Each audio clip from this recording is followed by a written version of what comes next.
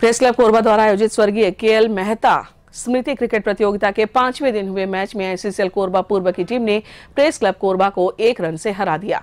इस रोमांचक मैच को देखने के लिए बड़ी संख्या में क्रिकेट प्रेमी मैदान के आसपास उपस्थित रहे। घंटाघर ओपन थिएटर में चल रही क्रिकेट प्रतियोगिता का पांचवा मैच अत्यंत रोमांचकारी रहा। प्रेस क्लब कोरबा और एसएसएल कोरबा पूर्व की टीमों ने क्रिकेट प्रेमियों का खूब मनोरंजन किया। टॉस जीतकर प्रेस क्लब कोरबा ने एसएसएल की टीम को पहले बल्लेबाजी करने का न्योता दिया।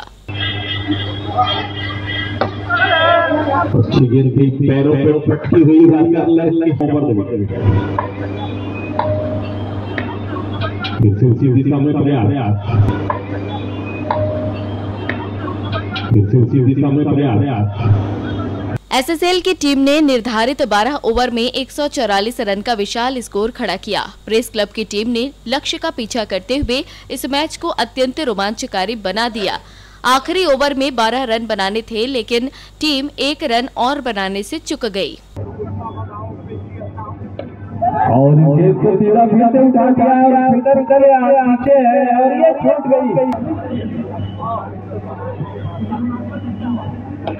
और बेहतरीन स्टार्ट और ये फिर से फुल और ये दो बॉल का इशारा। और इसी चार रन प्राप्त हुआ।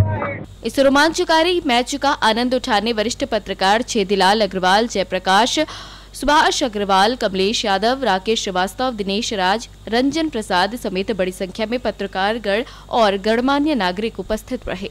ब्यूरो रिपोर्ट ग्रैंड एसे न्यूज़।